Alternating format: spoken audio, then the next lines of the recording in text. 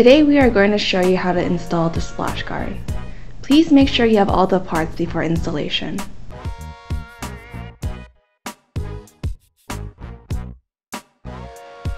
Turn the steering wheel clockwise all the way, turn off the engine and lock the handbrake. Clean installation surface with cleaning cloth. Remove the screws and rivets from the inner fender. Position the splash guard on the inner fender to trial fit.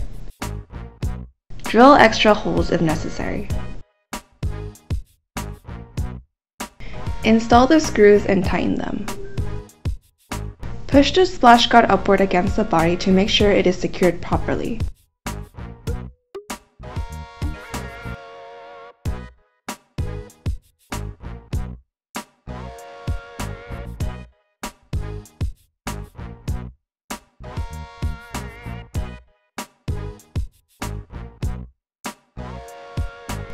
Make sure there are no gaps between the splash guard and body.